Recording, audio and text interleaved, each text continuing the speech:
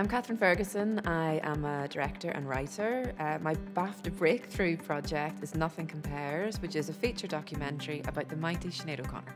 I acted at the time in the way that I felt would be most true to myself. I wasn't thinking to myself, I must be strong. I didn't know I was strong. It was such a passion project that took so many years to bring to life. We released it at Sundance in 2022 and um, just seeing the response to it and the response to her was uh, amazing. I actually really enjoyed raising the funds for the film, bringing it to like the pitching markets like Sheffield Doc Fest and CPH Forum in Copenhagen.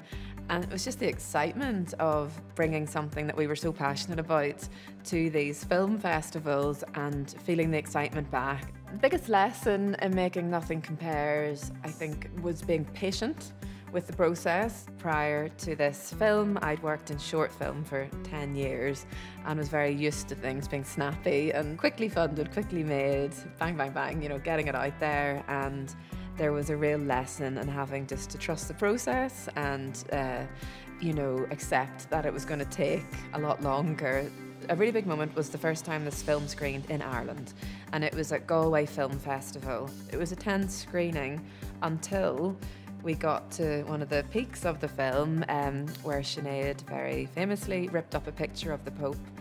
And at this exact moment, there was a huge inhale of breath, and the whole room stood up and started cheering one by one. And it was extremely profound, actually, to be sitting there and looking at this take place.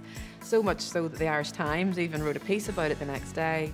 I'm absolutely thrilled to be selected for BAFTA Breakthrough. We were at the Emmys in New York where we'd been nominated for a couple of awards but hadn't gotten any. And I woke up the next morning to this beautiful news and I thought, oh my God. For me, so much of it's just been putting like one foot in front of the other and feeling my way in the dark with everything that I do. So it, I just feel like the chance to be part of a cohort of incredible filmmakers and to meet lots of incredible people in the industry is a real dream come true.